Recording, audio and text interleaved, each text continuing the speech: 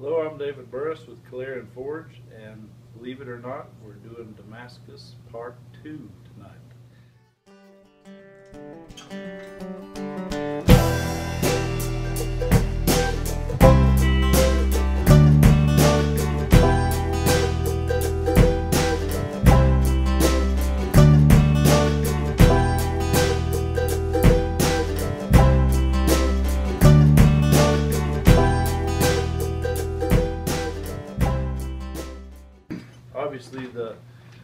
Billet that was in Part 1 was made into a knife a long time ago, so this is not the same billet, but it's made the same way, although I've got a little different makeup in this one.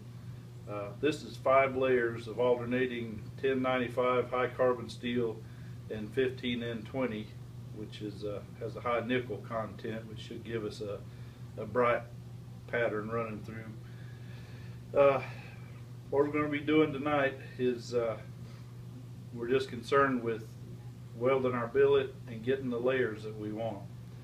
Uh, we're starting out with five pieces of steel.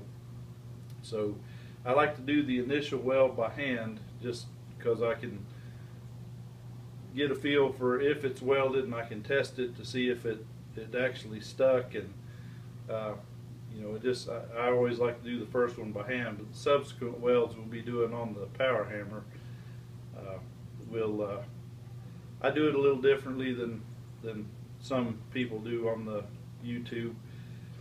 Uh, I kind of do it the old school way, which I pretty much do everything the old school way. So I'll uh, draw it out to twice its length, and we'll cut it part way through and just fold it back on itself. That way you're not having to, you know, cut it with a saw and arc weld it every time.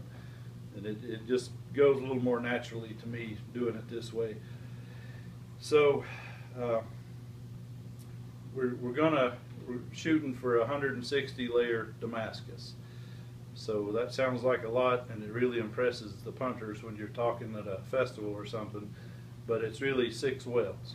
So we're gonna do we're to draw this out, cut it and fold it six times because as you're building your layers up, it grows exponentially. We got, we're starting out with five and our first fold will give us 10 and then 20, 40, 80, and then 160.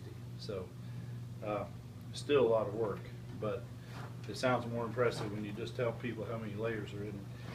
So we're going to heat this up and flux it and uh, make the weld and uh, we're still still adding to our uh, video equipment here so I'm not going to be talking a lot while it's going on. We're just we're going to uh, film what's going on at the anvil and the power hammer and then we'll talk about it when we're done so uh, hope you enjoy it and we'll see you at the end